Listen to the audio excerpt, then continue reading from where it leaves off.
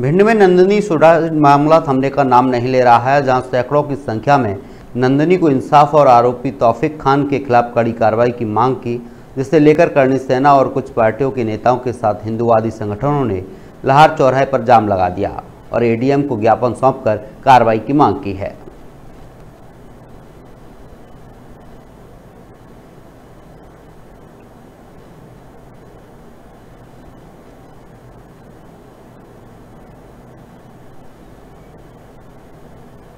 खान के विरोध में लेरोली गाँव के लोगों ने जाम लगा दिया था चौराहे पर जिसको समझा इसके बाद खुलवा दिया गया।